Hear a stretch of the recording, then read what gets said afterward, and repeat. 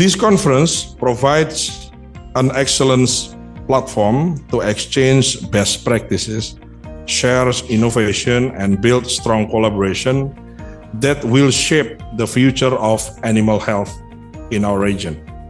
I hope this conference will generate concrete recommendation and actionable, able to be action steps to address the pressing challenge in animal health across Asia and Pacific, particularly those concerning transboundary animal disease, zoonosis, and the growing threat of antimicrobial resistance.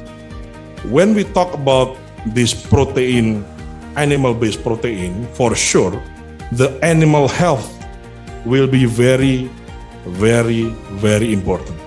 That's why we are located these kind of things, how important it is in the top priority in our country, how we can provide healthy food so then can affect to make a healthy man to make the healthy people of of Indonesia, especially for the for the children.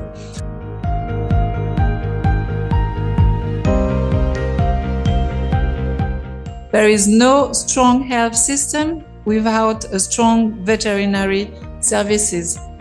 There is no strong animal production without strong veterinary services. And they are not just responders to outbreaks, they are agents of development and pillars of national resilience. We urge all ministers and partners here to advocate for veterinary services within your national authorities.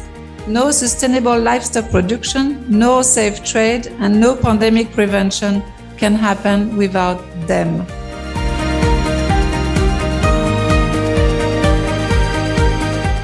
Our deepest appreciation TUA for its leadership and support, and to all distinguished delegates for your unwavering dedication and collaboration.